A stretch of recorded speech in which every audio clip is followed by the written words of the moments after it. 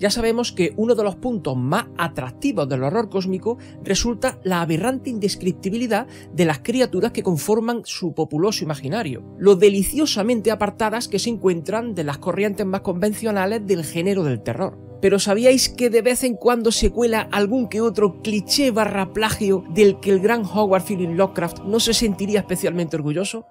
Mi nombre es Francisco Javier Olmedo, soy escritor de narrativa de horror cósmico y hoy vamos a hablar de Atlatch, Nacha o cómo pasarse de inspiración. Lo primero que debemos destacar de Atlatch Nacha es que, aunque es cierto que ha sido descrito de diversas maneras, en realidad todas de semejanza arácnida, canónicamente hablando resultaría una araña gigante que no descomunal de rostro humanoide adornado por un populoso número de ojos brillantes. Y ojo, que digo fue descrito, que no descrita, puesto que el género por el que fue tratado originalmente por su creador era el masculino. Fue la posterior evolución de los mitos hacia una corriente más lúdica, ya me entendéis, juegos de rol, juegos de mesa, la que finalmente terminó atribuyéndole no solo un género femenino heredado del concepto aracnoide, sino también un aspecto más antropomorfo e incluso estilizado en algunas ocasiones. Su hábitat natural resultaría las profundidades de la Tierra, más concretamente en las cimas más recónditas del Gran Abismo, una peligrosa zona limítrofe que se extiende entre el mundo de la vigilia y las tierras del sueño. Y sí, lamentablemente, como ocurre en todos los arquetipos mitológicos relacionados con estos terroríficos artrópodos, Atlach Nacha no solo se parece morfológicamente a una araña, sino que también excreta algún tipo de sustancia pegajosa y filamentosa con la que teje trampas para atrapar a sus víctimas, usualmente humanos, y que deja abandonados, convertidos en estatuas de seda para ser devorados más adelante. ¿Y por qué digo lamentablemente? ¿Por qué notáis cierta decepción en la explicación que os acabo de dar? Si no cabe duda que esta deidad despierta una generosa simpatía en un gran número de seguidores del horror cósmico, seguidores entre los cuales me incluyo. De hecho, tengo una anécdota personal muy curiosa sobre Nacha que os contaré en breves momentos. Y digo lamentablemente porque ¿qué cojones hace un ser tan perfectamente definido y predecible en el espantoso universo de horrores informes que el gran maestro Howard Philip Lovecraft se propuso engendrar? Pues la respuesta es bastante obvia, incluso para aquellos que todavía no la conocen. Y es que Atlach Nacha no fue creada por Howard Philip Lovecraft, sino que nació de la imaginación del más prolífico autor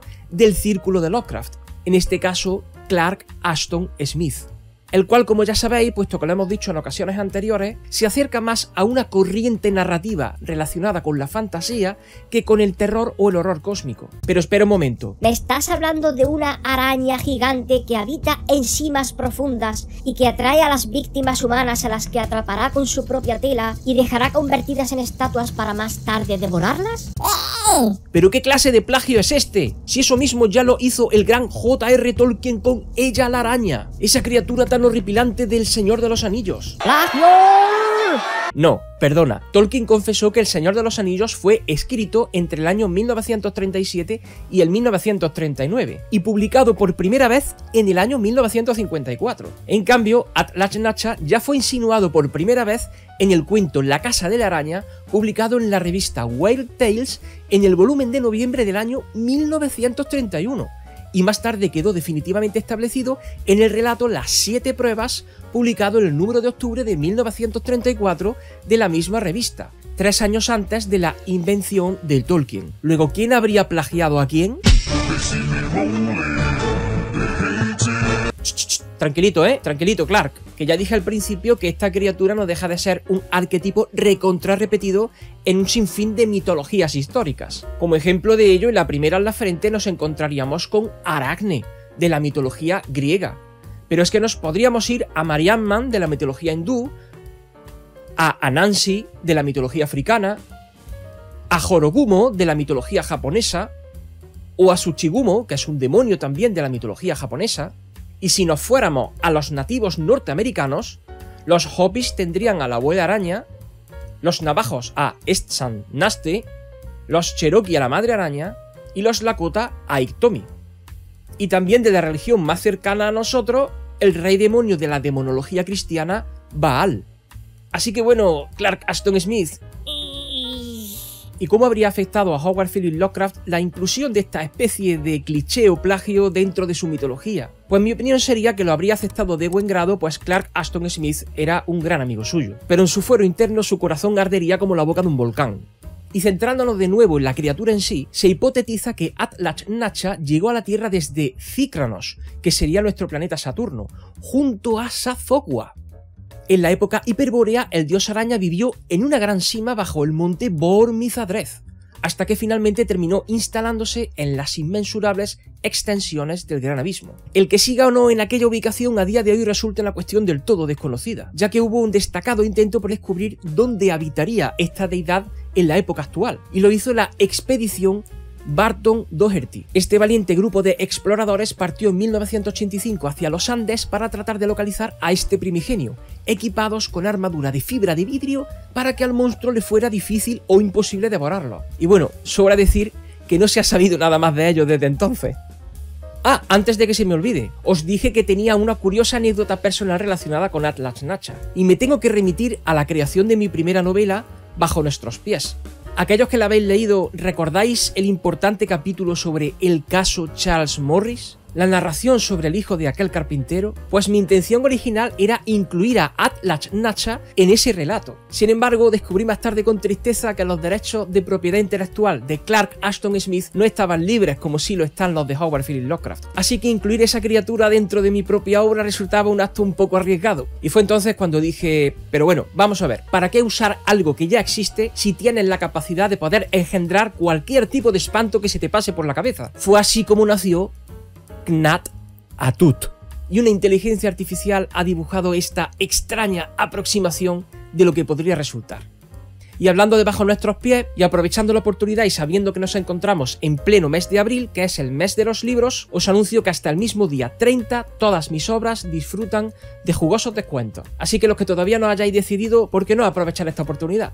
Continuando con el tema que nos ocupa, es interesante destacar que Atlas Nacha pasa todo su tiempo cubriendo con su telaraña aquel abismo desfondado del que antes os hablé, y que se abre entre el reino de la vigilia y las tierras del sueño. Una tarea que en principio podría mantenerlo ocupado hasta el fin de los tiempos. Y conste aquí que aunque para nosotros pudiera resultar una tarea repetitiva, tediosa y monótona, algo así como el castigo de la piedra de Sísifo, Atlas Nacha odia con una ira extrema abandonar su labor. Es todo un afanado tejedor por lo que si bien es cierto que podría invocarse, no sería lo más recomendable apartarlo de su trabajo. Y aunque se rumorea que aquellos que suelen adorarlo son recompensados con ciertos saberes arcanos y algunos poderes sobrenaturales de menor índole, se sabe que aquellos que desafían su paciencia acaban enfrentándose a las terribles consecuencias de tal osadía. Una muestra de esto es que a lo largo de los siglos no han existido demasiados cultos que le practiquen veneración. Tan solo dentro de la cultura fenicia, algunos pequeños grupos, también en la cultura india y curiosamente también una tribu de las islas Andamán. Porque aunque bien es cierto que, como antes os he dicho, no le suele prestar demasiada atención a aquellos que lo adoran, cuando Atlas Nacha concede el honor de atender a alguien, suele hacerlo de manera individual, principalmente a chamanes o hechiceros. ¿Y en qué relatos podríamos aprender más de Atlas Nacha? Pues canónicamente hablando, por desgracia, solamente en dos. En las siete pruebas de Clark Aston Smith y en la piedra filosofal de Colin Wilson. Aunque es verdad que en el apartado lúdico de juegos de mesa y juegos de rol sí se ha expandido generosamente el trasfondo de esta deidad.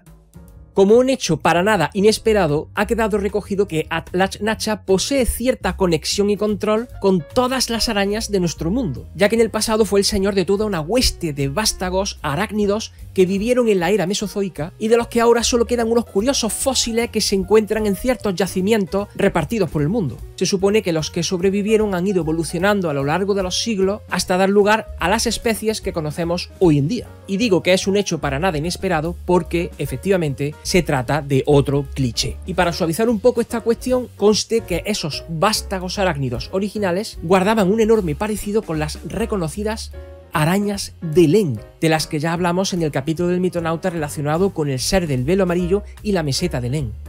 Y bueno, queréis descubrir ahora cómo se puede usar un cliché mitológico como la copa de un pino, pero de una manera magistral, lo que Clark Aston Smith intentó con Atlas Nacha pero no consiguió, pues ahí lo tenéis, en el capítulo del mitonauta que dedicamos al Wendigo.